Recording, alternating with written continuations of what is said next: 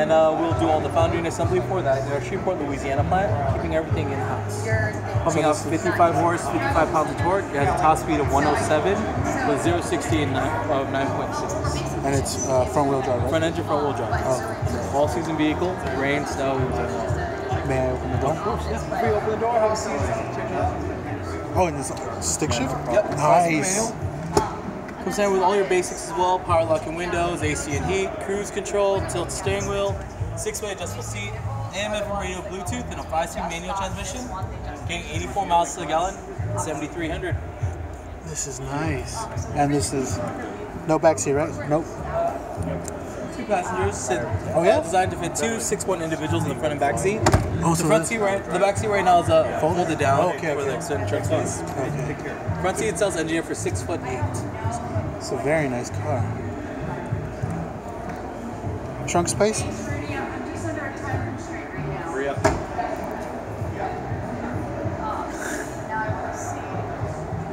I think I can get you to the throwing thing at me. Actually, considering setting something up if you're out here or not. And this is from Elio Motors, right? Yeah, for sure. Let me get a seat. Uh, oh, Now, we won't be traditional. We won't have lots of person it's spacious, that's for sure. Because, for the part, Ooh, being the clutch is stiff. It is stiff. Or I mean, this one, this is just for the engineering series. Oh, okay, okay. It's not gonna be as stiff. For, oh yeah, it'll be a Okay. lot softer. For, uh, I'm like, man, the kick on this is, is pretty good. for, of course, for test drives, but like I said, we'll be doing the test drive Nice. tour only because we. And the reason I say we don't. It's a very nice car. And stereo, right? This is stereo? Oh, Bluetooth stereo, Because nice. The 202 comes down with the Bluetooth stereo with auxiliary port You say, oh, and USB port for plug and play too. So- Man, I could, I could get used to this being by myself. Exactly right. As your everyday commute vehicle, it's not meant to replace your truck, SUV, or Yeah. family car.